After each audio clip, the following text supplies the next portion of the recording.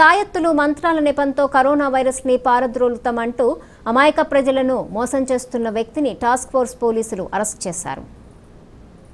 రాజన్న సిరిసిల్ల జిల్లా సిరిసిల్ల పట్టణం పత్తిపాక వీధిలో కంచర్ల కనకయ్య అనే వ్యక్తి తాయెత్తులు మంత్రాల నెపంతో అమాయక ప్రజలను మోసం చేస్తున్న వ్యక్తిని టాస్క్ ఫోర్స్ పోలీసులు ఈ రోజు పట్టుకున్నారు. ఈ సందర్భంగా టాస్క్ ఫోర్స్ పోలీస్ అధికారులు మాట్లాడుతూ నిందితుడు జిల్లా ప్రజలే కాకుండా వేరే జిల్లా నుండి వేరే ప్రాంతాల నుండి వచ్చే వారిని కూడా మోసం చేస్తూ మూడు నమ్మకాల పేరుతో కరోనా వైరస్ని పాలద్రోలుతా అంటూ ప్రజలను మోసం చేసి ధనార్జనకు పాల్పడుతున్నాడని తెలిపారు. ఇతని దగ్గర నుండి ఉంగరాలు రంగురాలు మూలికలు మొదలగునవి స్వాధీనం చేసుకున్నారు. తదుపరి చర్యల కోసం కోసం టౌన్ పోలీస్ స్టేషన్లో అప్పగించారు. ఇందులో RI Sampath Kumar task force సిబ్బంది పోలీసు సిబ్బంది పాల్గొన్నారు.